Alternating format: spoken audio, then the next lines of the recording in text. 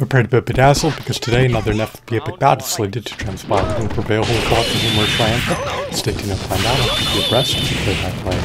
Today, the legendary iconic revealed generated illustrious renown Rainbow Dash is pitted up against Scooby-Doo. Joining her is Steve from Minecraft.